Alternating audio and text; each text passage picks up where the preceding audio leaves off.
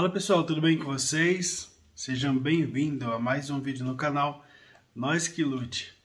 No vídeo de hoje eu quero fazer de uma forma diferente, porque às vezes o pessoal vê a gente gravando vídeo no YouTube, pensa que é tudo fácil, né? Então vai muita edição para um vídeo chegar para o ar para vocês. A gente tenta colocar da melhor maneira possível. Eu vou nesse vídeo aqui é, falar para vocês uma coisa eu iniciei as aulas EAD, né, à distância, ou melhor, vídeo aula com o irmão Lucas Caires. Ele é um profissional que ele não, não tem a visão, é bem conhecido da Irmandade aí, e eu iniciei as aulas com ele. Né? Eu tive a minha primeira aula, porque, ah, mas você já não sabia tocar acordeão? Então, eu descobri algumas notas do baixo, né? Então eu cheguei até um limite do que eu pude descobrir nas notas. Só que a gente cria hábitos, como eu toco outros instrumentos, a gente pensa assim, ah, é só saber a escala, chega a tocar. Não é bem assim, né? Então eu quero aprender da maneira correta, eu tenho muita dificuldade e eu quero tocar da forma correta e como tem que ser tocado, né? Para perder meus hábitos que eu mesmo adaptei então eu me interessei pelo método Kairos, né, que é a forma que ele ensina. Né? Então eu não vou pegar os estudos bem do começo, né, igual todos fazem, com teoria e tal, porque né, eu foi uma solicitação minha. Eu falei, eu quero que ele me explique direto na minha dificuldade. Né? Então a, até a escala minha já tá, tava da forma incorreta, né?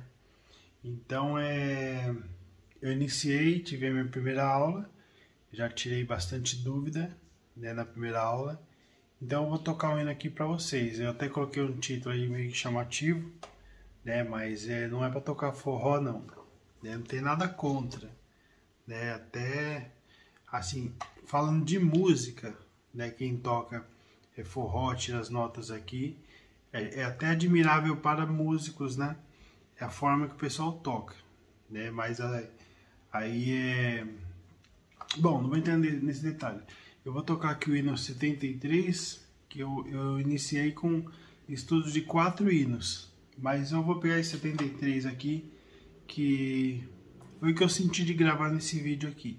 Eu não vou fazer corte né, no vídeo, mas eu gostaria que ficasse um vídeo bom e bem explicado para vocês. Quem gosta de acordeão, Escreve aí nos comentários, gosta de acordeão? Se tem alguém na família, né, algum avô, algum parente que toca ou tocava acordeão, escreve aí para mim nos comentários aí, porque eu sei que é um instrumento muito querido. Se se ele perder para algum instrumento esse aqui, é, deve perder, acho que pro piano só.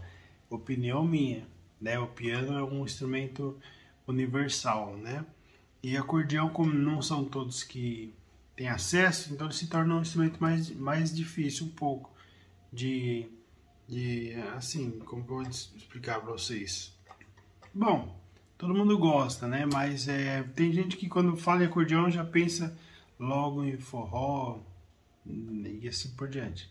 Então, como nem todos têm acesso ao instrumento, não é um instrumento barato, né? Então, é, nem todos se aproximam de um acordeão, né? Mas vamos lá, vou tocar o M73 para vocês. Eu tô curioso para ver o que vocês vão comentar aí.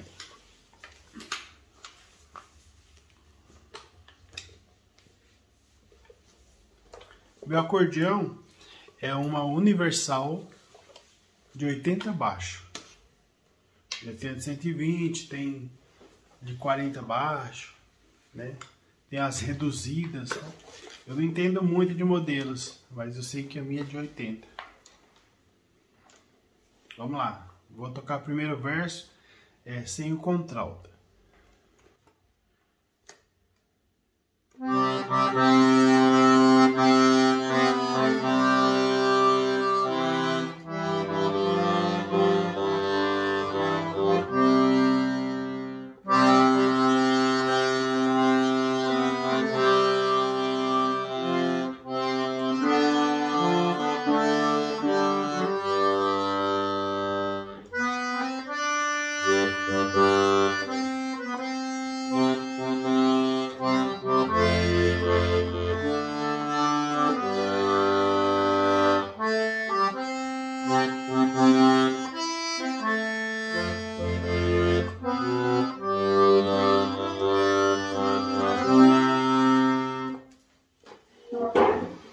vou mudar aqui para para não sair o baixo mais alto que o soprano.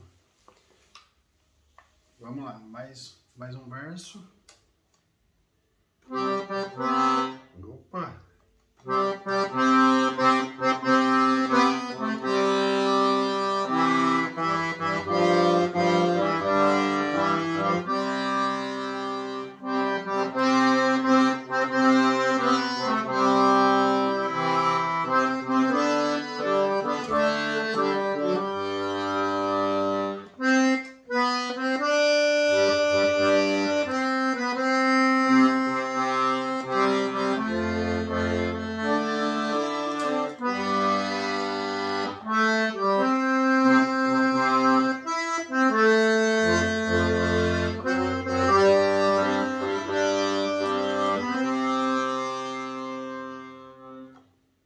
Bastante, gente. O áudio que eu mandei para ele ficou melhor um pouco. Agora na gravação, vamos lá.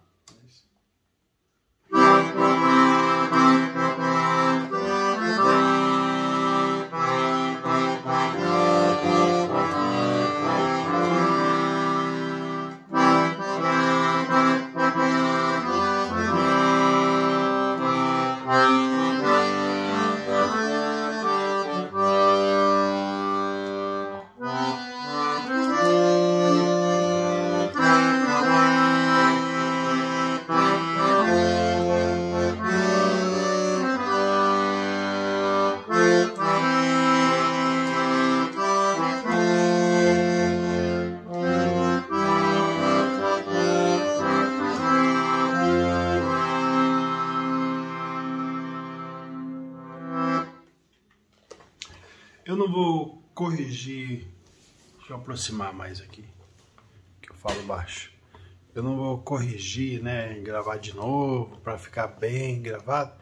A intenção desse vídeo é mostrar para vocês que eu realmente eu tenho bastante dificuldade, né? Então, assim, eu estou muito animado para que eu possa ter muita melhora.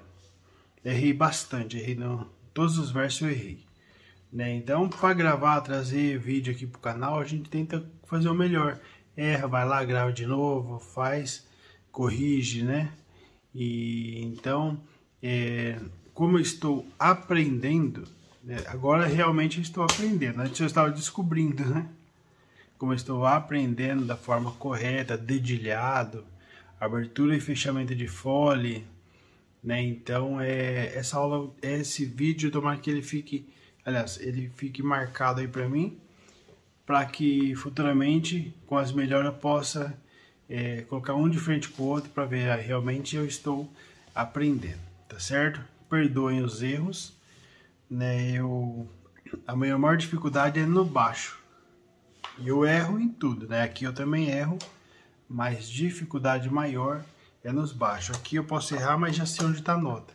Nos baixos, às vezes eu erro, fico procurando. né?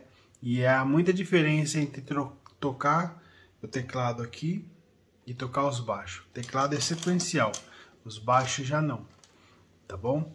Irmãos, Deus abençoe a todos, espero que tenham gostado desse vídeo. É um vídeo simples, porém importante. Né? Tem muita gente que acha que tudo é fácil, né? mas não é. E nunca é tarde para aprender. Estou aqui ó, com 44 anos, resolvi fazer uma aula aí uma aula não, resolvi fazer o curso aí, né? Então nunca é tarde para aprender. Se você tem objetivos na vida, quer aprender alguma coisa, né? Não desista. É seu sonho, vai ser bom para você. Parte para cima, ah, mas eu já tô, já não tenho idade para isso. Não existe isso. Não existe limites, né? O que existe é assim, você está vivo, então corre atrás dos seus objetivos para que você possa conquistá-lo. É bom para você? Então, vale a pena investir.